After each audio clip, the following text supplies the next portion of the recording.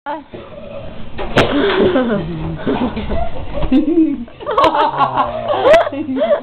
getting tired.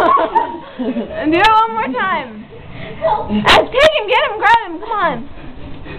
Hold on, move the bed back. Yeah. Be careful with his arms. And then tell me when, okay? Okay. Well, just when you go, just go, because I'm going to keep it running. Put him down on the ground. Let him follow you over there and back. Run. His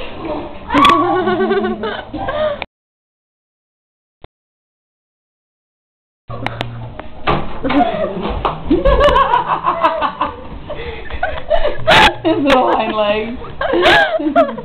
oh, baby.